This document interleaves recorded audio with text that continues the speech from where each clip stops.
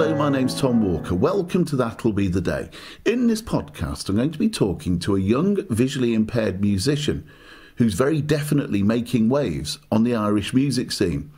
But before we hear from Sean Harrington, if you like the music at the start of this podcast, it's a track called That'll Be the Day by the Liverpool band The Vow.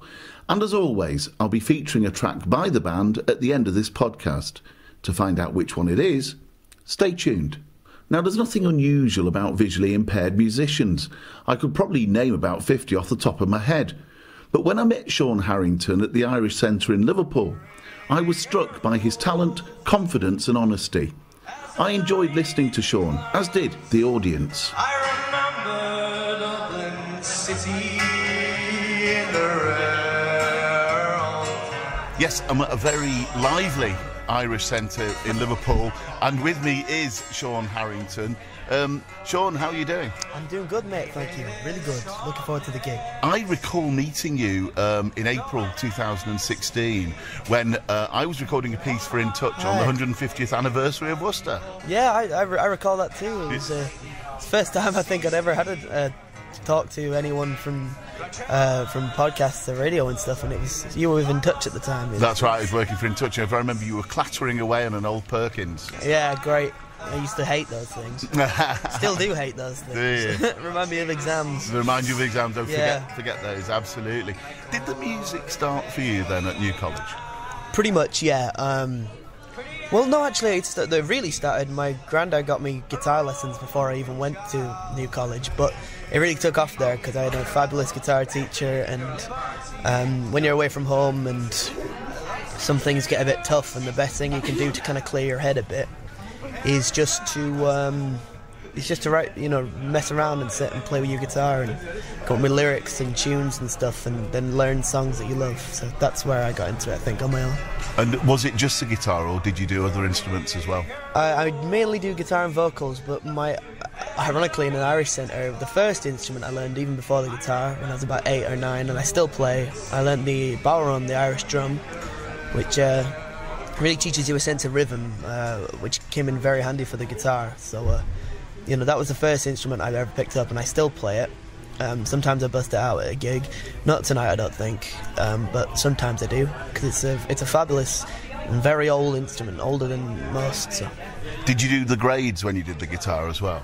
I did two or three, but I never liked grades. I've never, I've never liked exams of any kind. I've never liked the idea that someone can say to you, "Look, I've decided what you're going to learn in this subject.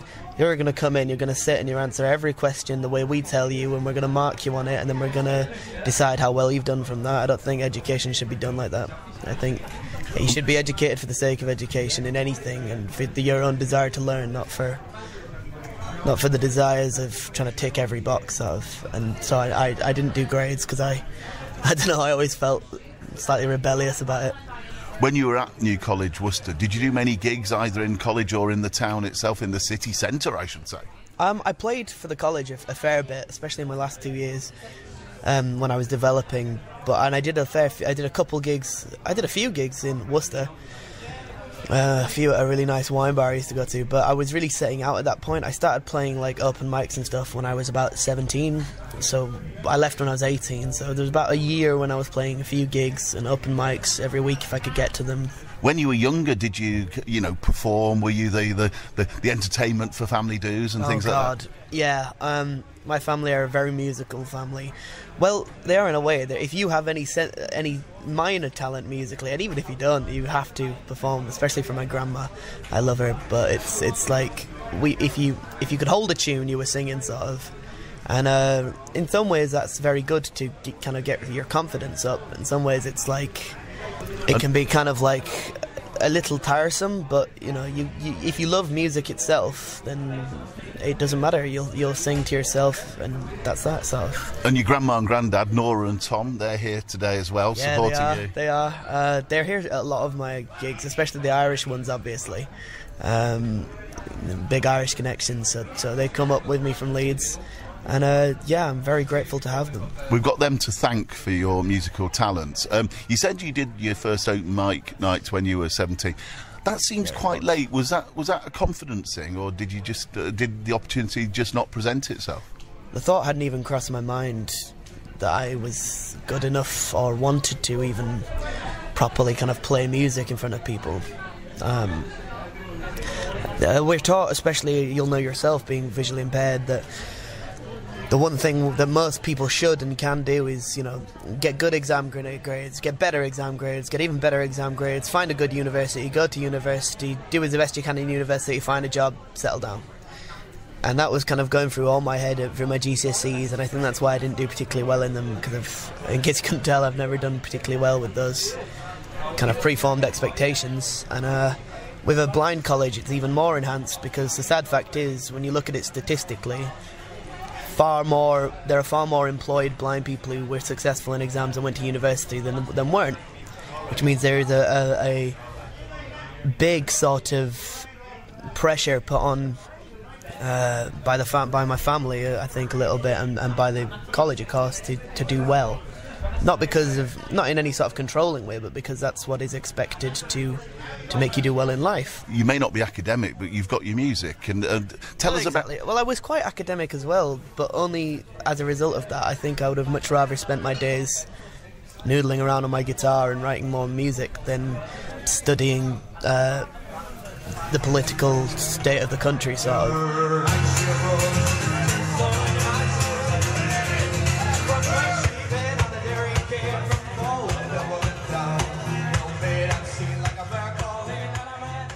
Me about your music, Sean. What, what, what- you know, describe it for people who, who don't know you.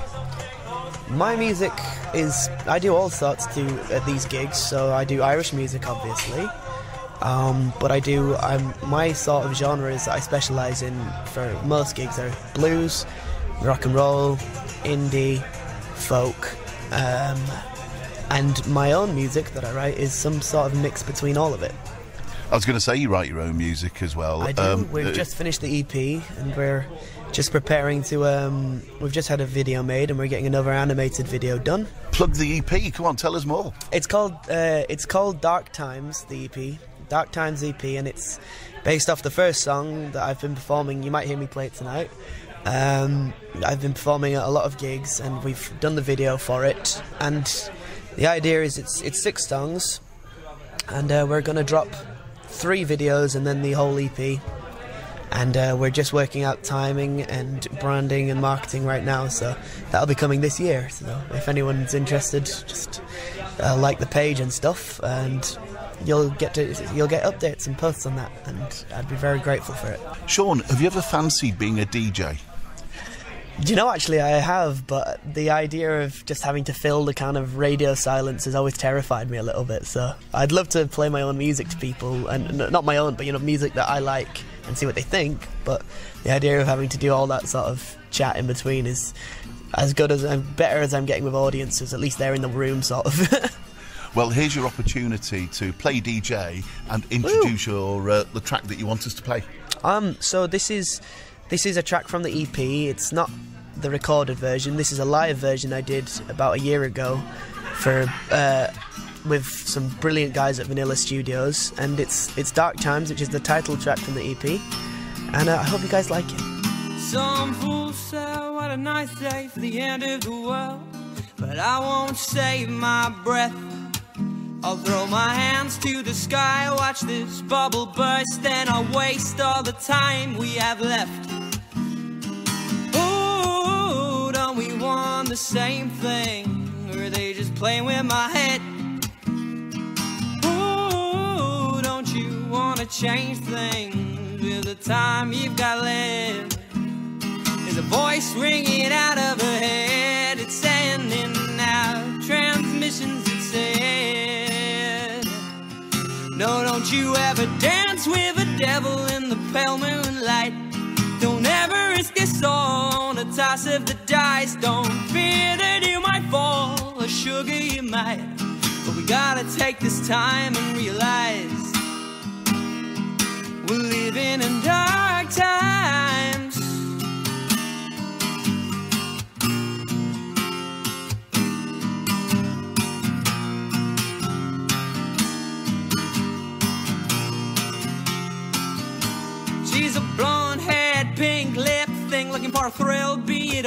Or a girl or a new kind of pills. She was tripping on a dream in the dark of the night. She's ready for the heat, got kicked out of the fight. Ooh, don't we want the same thing? You busy playing with my head. Ooh, don't we wanna change things with this time we've got lived? His voice ringing out of my head, said, Don't you ever dance with the devil in the pale moonlight? Don't ever risk this all on one toss of a dice. If you fear that you might fall, then sugar you might. We gotta take this time and realize. Oh, we gotta take this time and realize. Hey, we gotta take this time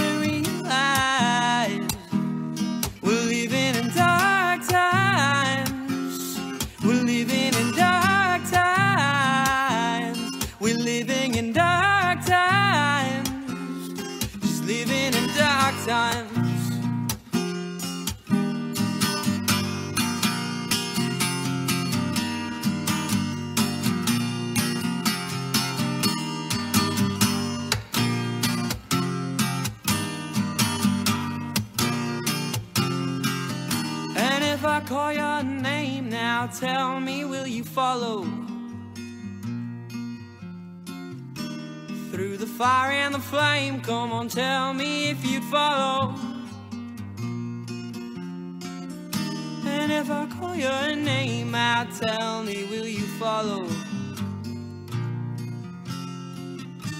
Through the fire and the flame, oh, tell me, will you follow? Oh, will you follow? Oh, won't you follow? Oh, will you follow? How will you follow?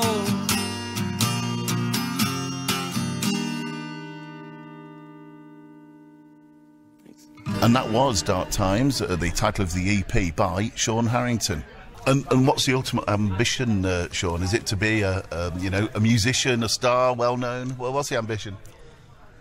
I think it would be what's the word? Not f- like it would be ridiculous to claim that I don't want to be famous. I think the amount of people who claim that and lie about it, I think, is is, is wrong. Everyone wants that. Most humans, somewhere deep down, want validation from the people around them, and so do I. But what I really want, I guess, is to be able to just survive on my own without having any boss or anyone tell me what to do with my time and what to learn and how to play it. you and have- me both. and have exactly and and have people come and watch my music and, and like my music and feel like there's something to connect to in my music and all the time I put into picking my lyrics and, and writing those songs and stuff was worth it because it connected me with at least one more person. Tell me about the songwriting process, Sean. Um, where do you do it? How do you do it? Where do you get your ideas from? Where I do it anywhere as long as there's a guitar and somewhere relatively quiet. Um, and sometimes not even a guitar. Sometimes I can come up with tunes and lyrics in my head and just voice memo it or record it and then work on it later. But it, it I wish I could say, you know, a lot of songwriters they they'll handle something over four days maybe. I can't do that. I have to write it all in one. It either comes out fully. I even knock it together in about an hour, an hour and a half, maybe two hours of just constant playing it through and working out lyrics that work with it, or I, I leave it and I come back to it and I can't I can't continue with it because I've lost the I've lost the kind of thread of what I was saying and why I was saying it and the vibe I was on when I started writing it. So it has to it's it's a very tricky process and if I could do it every day I would. I have to be in a certain mindset. I have to have something on my mind that wants writing about, I find. And sometimes I don't even know what I'm writing about until I finish writing about it and then it clicks just what I was talking about in my own head. Is there a theme coursing through the EP that you're just about to release? That's a really good question. Um, I think the theme to me is it's. I, I would never. I've always made it obvious to myself that the music, uh, clear to myself, the music I want to write in the least pretentious way possible. I want it to be real. I want it to be- about real things and real feelings. So, and, and real to me. So there's very few love songs. I don't think there's a single love song on there. I don't think I've ever written a proper love song. because I, as of yet, have not fallen in love. So why should I write about it? And I think that is the theme of it. It's about things that are hopefully relatable to people, but I've experienced because it would be dishonest about stuff I hadn't. So Dark Times is was written at the heart of you know the very beginning of the first lockdown, when a lot of terrible things seemed to be happening, all kind of one after another. And uh, no matter what politics or religion you follow, it was looking a pretty bleak time. And so we wrote, I wrote Dark Times as a result of that. That was playing on my brain. And Dark Times came out, and Landslide, which is another song on the EP, is an exploration of just how that was very much inspired by a conversation I had with my mother, who is a divorce lawyer. And it struck me that when people go looking for this elusive thing we call love, not saying I don't believe in it, of course, but they, they go into these things with a massively powerful and, and sometimes overblown expectation of what different people sh- should provide and should give to each other in a relationship that might be ridiculous or might not, but it's it, it ends up hurting them both, and that's that's kind of that about it. That's what the album is based on: real people, real themes, and real sometimes painful things that happen. How was the lockdown for you? Um, it was at times a brilliant time in my life, and at the same time pretty horrible because in the first lockdown I was locked down with my elder brothers in uh, together, living together, and that was lovely. You know, we've fallen apart, not in a bad way, but we were all doing different things, moving from um, moving from place to place, and then now we were together. You know, we were in the same house. We were spending time together, and it was it was just a great experience. But then I went to university, and the second lockdown hit, and I was in my own apartment, the same four walls for maybe three months, and I found out that I was the closest to insanity I've ever been, locked away from the world, sort of in this cell that I'd I'd picked for myself, and it was that was that was a really dark time, ironically. Probably where some of the bits on the EP came from, but Sean, one of the things I wanted to ask you about was uh, you're visually impaired, you're totally blind. totally. What effect does that have on um, your performances, on how you interact with the audience? Good question. Um, it has a negative, but also a positive effect. Actually, um, negative is the obvious. It's it's hard to. So I'm in Liverpool now, and I would not be able to be here properly with all the equipment needed without the help of my, you know, my, my godfather and best friend, um, who drives me and helps me set up, and has been a real kind of key like when I get gigs, I say we've got a gig because it's the two of us. It's always been the two of us, and it will always be the two of us. And where you know we do everything together, and he helped me build this this business, and that's that. But that is a result of blindness. Unfortunately, I can't drive myself. Um, it would be very awkward to shift the gear in on my own and set up on my own. So he helps me do that. Um, and of course, there are countless you know the type of things. There are countless sort of little issues that come up that are frustrating and things like that. But we've we've developed so many kind of methods to get around them that we're we're doing very well on that front. And when you're on, on- a positive way, uh, people people are fascinated by blind people. And sometimes I find it can be a negative thing in your normal life that you're always you might always be answering questions about it.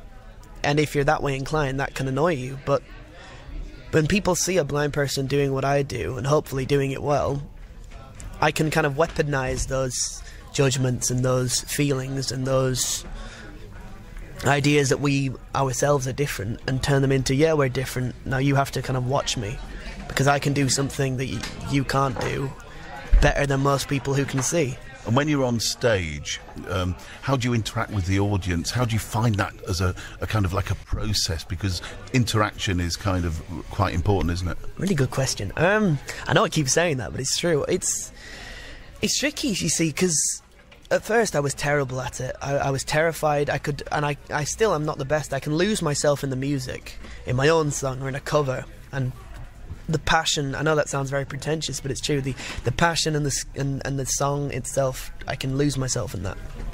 And then suddenly, when the song is over, it's like I get snapped back to where I am on my feet in front of a crowd of people, most of whom I've never met. And I realise I have to talk to them at least a little bit. And that used to be really terrifying, the really nerve wracking part of it.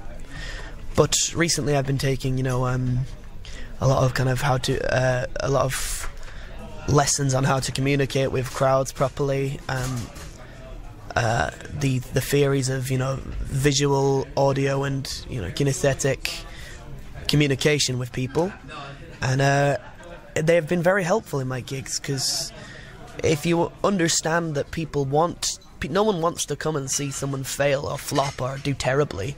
Well, not no one, but very few people do.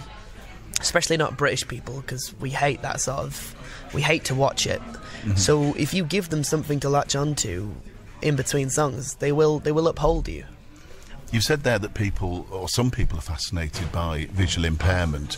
So, do people come up to you afterwards and, and, and start talking to you so about that? So many times. What and do I, they? I what do they say? It. I Yeah. welcome it. I Yeah. do. I, I've, I understand blind people who get offended by having to on, call, you know constantly answer, ask answer questions, but at the same time, I think it's quite a restrictive and childish view to say that you know, especially if you're doing gigs in front of people, you can't expect them to just. Would you rather they didn't ans- ask these things and just continued viewing you with clouded eyes, if you pardon the pun, and, and judging you, then came up and found out that you are just as intelligent and just as skilled as they are? Do you think we have, as visually impaired people, do you think we have um, an obligation, if you like, to exactly to, to uh, word. educate? We do, we do, and and those of us who can should do that. We should seize upon the opportunity to show just how much it doesn't bother us. This thing we have. And talking to people should should be should be something that we encourage, especially about our disabilities. Not to the point where it's all we talk about, but if they ask, then we should answer. We have an obligation to answer. I talk to a lot of visually impaired people who say, "Oh, you know, being blind is a real disadvantage in the workplace. This is your workplace." Do you think it's a It's an advantage. It's an advantage. Tell me why. because as I say, people are fascinated by it, and if you if you walk on stage and they're already fascinated by you, then you can use it. And if that taps into your music, do you see what I mean? I can walk into a room, and it was something my speech, uh, the guy who's been helping me learn to talk, said. He's a friend of the family, and he said it when I was a kid, and it's only been affecting me for the last few years. But he says a lot of blind people don't realise this, or they view it in a negative manner. But when you and I walk into a room with Arcane, we immediately have people's attention, whether it's good or bad. immediately Yeah. which is something that if you're clever enough and if you that sounds that sounds pretentious but if you're if you're switched on you can use that Of course. david blunkett used it you know you can use that attention and magnify yourself and that's what i try and do on stage they're already looking at me they're already wondering what i'm going to do because of the cane i just have to prove that it was worth it So you're about to go on stage now. Any Exactly. any pre-match nerves, pre-gig nerves? There's always uh, kind of pre-gig nerves. I, you know, I'm not. I like to think I'm not arrogant enough to assume I'll blow it out the water every time. Sometimes we all we have duds, you know, but like. I'm, I'm hopeful. Uh, Irish gigs, especially in Liverpool, this city is full of music and it's full of people who enjoy music. And uh, most of the gigs, in fact, almost every gig I've done here has had very good reception. And when you have a good crowd, your performance is, is nine times out of ten going to be uh, going to be a good one. So Well, touching wood, he says touching his head because others would hear. So touch, touching wood. I hope, the, I hope the gig goes really well. I hope you smash it, as they say today. oh, thank you, And Sean, it's been really good to meet you again. You too, man. It's, Absolutely, uh, it was probably what six years ago. Uh, must, Yeah, God, 2016. six- now, now I feel old, I know. Well, if you feel old, ancient. I'm 57, mate. So Yeah, uh, I don't. You're, you're, you're, you're a mere youngster. Yeah. But great. Thank you for your time. That's all. Thank you. This is a Cheers. Thank you. Great. Cheers. in the rare